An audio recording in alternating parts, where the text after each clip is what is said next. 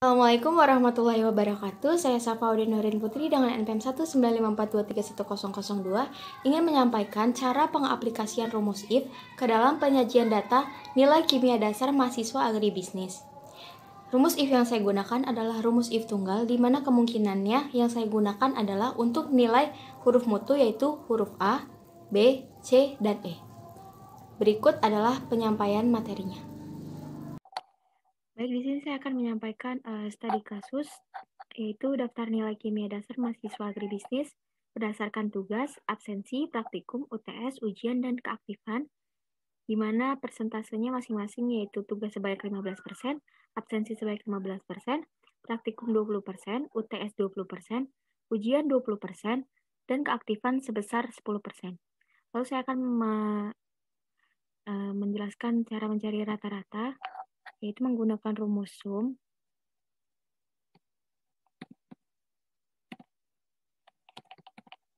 lalu kita masukkan um, nilainya. Lalu dikalikan dengan uh, persentasenya. Setelah itu untuk nilai selanjutnya kita tambahkan dahulu baru dikalikan dengan persentasenya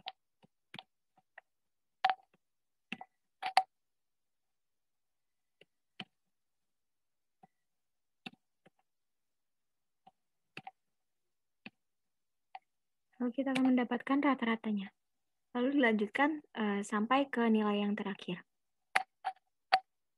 Lanjutkan dengan mencari keterangan yaitu dengan nilai dan huruf mutu. Di mana kita akan menggunakan rumus if. Nah, sebentar. Kita ketik di sini. Sama dengan if ke kurung nilai ini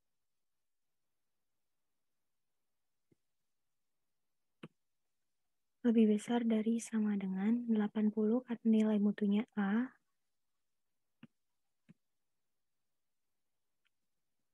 Lalu digunakan nilai mutunya dimasukkan. Kita masukkan if kembali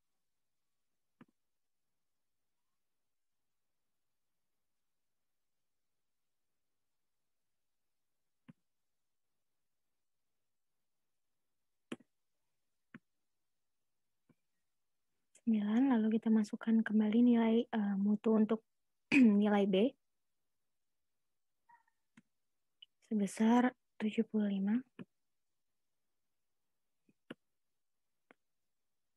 Nilai mutu B. Lalu masukkan if kembali. Seterusnya seperti itu.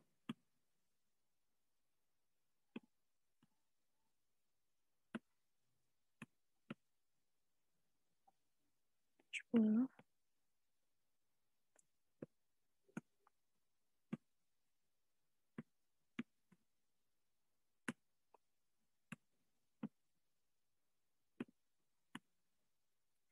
besar dari 65 untuk nilai mutu D. Lalu kita masukkan if kembali.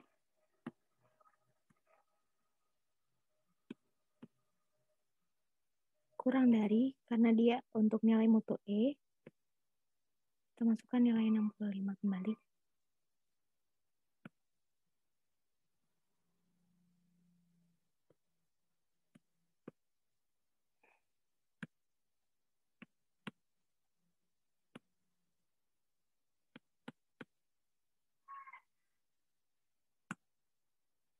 Lalu setelah mendapat hasilnya, kita bisa tarik ini ke bawah.